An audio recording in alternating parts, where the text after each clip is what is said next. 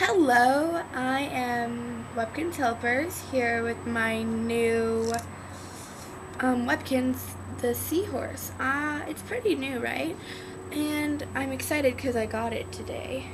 Um, and I don't really know what to name it. I'm sort of um, um, standing on Sarah right now, but if you have any better ideas, please post it, post it down there in the comments. It will really help me because I want to adopt it today or tomorrow. And I'm on a balcony right now, so it's cool to look down. So thanks for watching, and please help me with some name ideas. Bye.